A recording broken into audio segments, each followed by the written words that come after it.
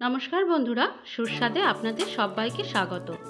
সামনেই আমাদের বাঙালিদের সব থেকে বড় উৎসব দুর্গাপুজো।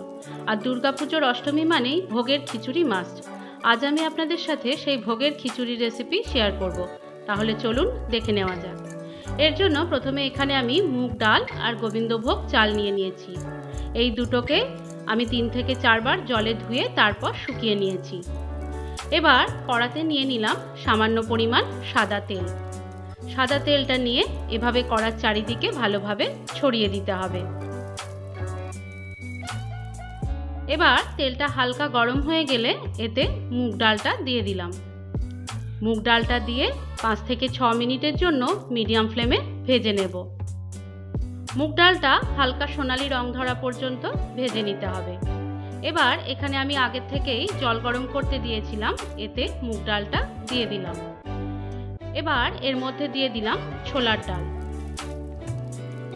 খিচুড়ি রান্নার ক্ষেত্রে যতটা পরিমাণ ডালের ব্যবহার করা হয়, তার আট থেকে ন গুণ জলের ব্যবহার করতে হয়। এবার এতে সামান্য পরিমাণ হলুদ দিয়ে এটা হতে দেব। এবার আবারও কড়াতে নিয়ে নিলাম সামান্য পরিমাণ সাদা তেল। সাদা তেলটা হালকা একটু গরম হলে এতে গোবিন্দভোগ চালটা দিয়ে দিলাম। চালটা দিয়েও চার থেকে পাঁচ মিনিট মতো মিডিয়াম ফ্লেমে এটা ভেজে নেব। এবার চালটা নামিয়ে রেখে কড়াতে আবার নিয়ে নিলাম সর্ষের তেল। সর্ষের তেলে সামান্য পরিমাণ হলুদ দিয়ে দিলাম। হলুদটা তেলের মধ্যে ভালোভাবে মিশিয়ে নিয়ে এবার এতে দিয়ে দিলাম কেটে রাখা ফুলকপিগুলো। ফুলকপিগুলো দিয়েও হালকা বাদামি রং ধরা পর্যন্ত ভেজে নিতে হবে। আর ফুলকপিটা ভাজার সময় নুন দেওয়া যাবে না। ফুলকপিটা যখন হালকা বাদামি রং ধরে গেছে, এবার এটা আমি তুলে নিলাম। এবার আবারও কড়াতে সর্ষের তেল নিয়ে নিয়েছি, আর তাতে সামান্য পরিমাণ হলুদ দিয়ে দিলাম। এবার একটু বড় বড় করে কেটে রাখা আলুগুলো, এতে দিয়ে আলুগুলো হালকা বাদামি রং ধরা পর্যন্ত ভেজে নেব। আর আলুগুলো ভাজার সময় আমি কোনো রকম নুনের ব্যবহার করিনি।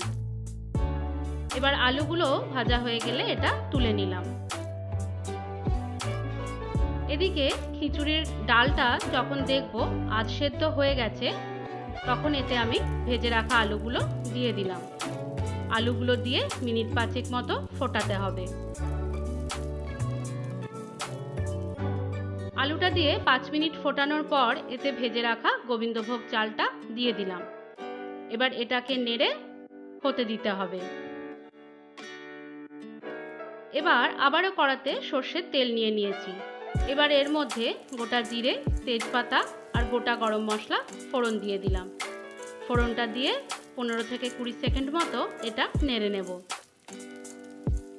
এবার এর মধ্যে দিয়ে দিলাম গ্রেট করে রাখা আদা। আদাটা দিয়েও এক মিনিট মতো এটা নেড়ে নিতে হবে। এবার এর মধ্যে দিয়ে দিলাম জিরে গুঁড়ো, ধনে গুঁড়ো আর কাশ্মীরি লঙ্কা গুঁড়ো। এই তিনটে উপকরণ দেওয়ার পর সামান্য একটু জল অ্যাড করে এটা এক মিনিট মতো কষে নেব। মশলাটা কষানো হয়ে গেলে এবার এর মধ্যে দিয়ে দিলাম টমেটো কুচি। টমেটো কুচিটা দিয়েও একবার নেড়ে নিতে হবে।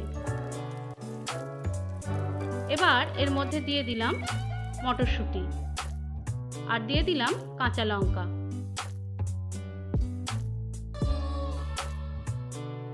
এগুলো দিয়ে এটা দু থেকে তিন মিনিট কষে নিতে হবে। এদিকে খিচুড়িটাও অনেকটা হয়ে এসেছে, এবার এটা একবার ভালোভাবে নেড়ে নেব। নেড়ে নিয়ে এতে ফুলকপিটা দিয়ে দিলাম। ফুলকপিটা দিয়েও একবার ভালোভাবে নেড়ে নিতে হবে। এখানে যেহেতু আমার আরও একটু জলের প্রয়োজন আছে, তাই আমি এতে এক বাটি পরিমাণ গরম জল দিয়ে দিলাম। জলটা দিয়ে পুরো মিশ্রণটা ভালোভাবে মিশিয়ে নেব। এবার এতে দিয়ে দিলাম পরিমাণ মতো নুন।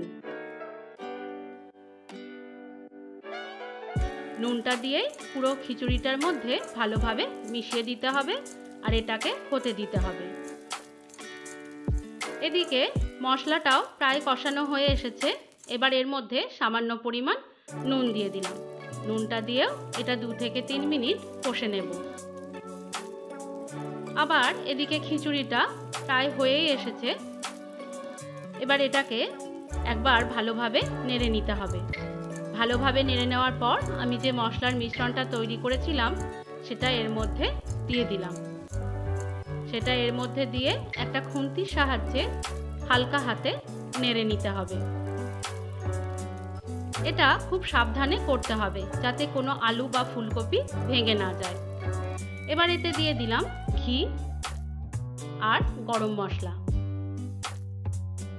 ঘি আর গরম মশলাটা দিয়েও আলতো হাতে এটা একবার মিশিয়ে নিতে হবে।